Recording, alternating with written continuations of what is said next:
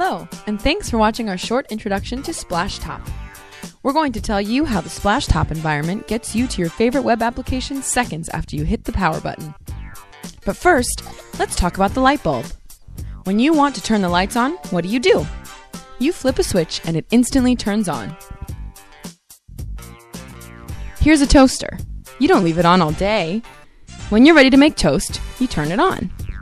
The same is true for a TV. I simply hit the on button, and I'm watching my favorite program. But when I turn on a computer, I have to wait. A long time. So long, in fact, that I end up doing a bunch of other things to pass the time. Like get a cup of coffee, or switch the laundry, there are even people who can run a mile faster than some computers boot.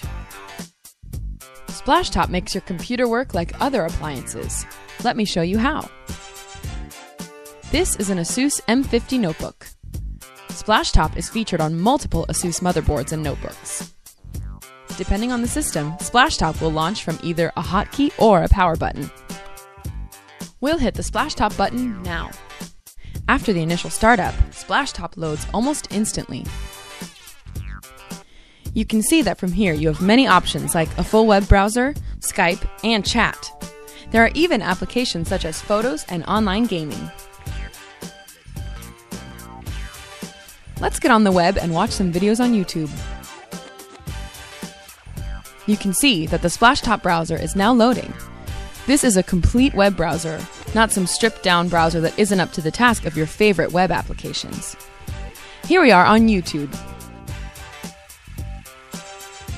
Let's watch a video about Splashtop.